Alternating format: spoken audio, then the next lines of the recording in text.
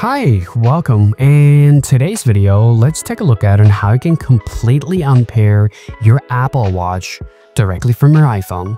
Uh, you simply want to go and tap a new setting and you want to go to the Apple ID here. You want to scroll down and you want to simply find out this option called Apple Watch.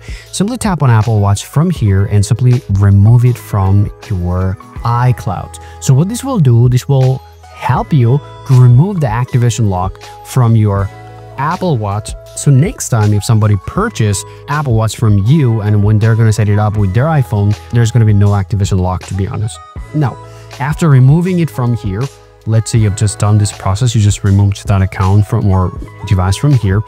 Uh, all you want to do is just go ahead and uh, open up your Apple Watch applications here.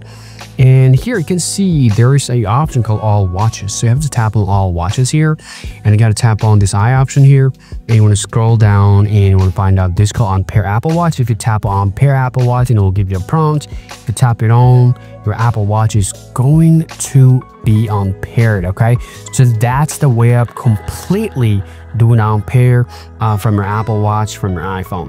So still, if you have any more questions regarding your Apple Watch or any other topic in mind, please don't forget to share it in my, with me in the comment section uh, so that I can make a video, specifically a video for yourself.